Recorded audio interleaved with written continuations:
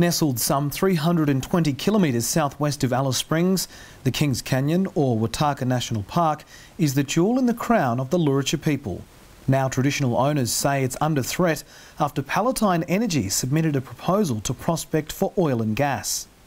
Yeah, people were were quite surprised, I think, and very angry that uh, you know this this is uh, this is something that's taking place uh, outside uh, their control, and uh, they're very concerned that uh, the Northern Territory Cabinet uh, makes a decision that, uh, that there's to be no exploration nor, uh, nor mining uh, into the future. Local environmental groups say they're also concerned.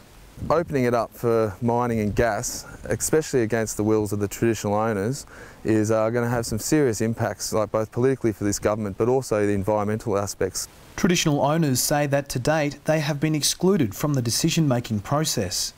They're very concerned that uh, the Northern Territory Cabinet uh, makes a decision that, uh, that there's to be no exploration nor, uh, nor mining uh, into the future. Palatine Energy's Managing Director Dr David Falvey released a statement saying the decision is currently with the Minister and he will have more to say on the matter once a decision has been made public.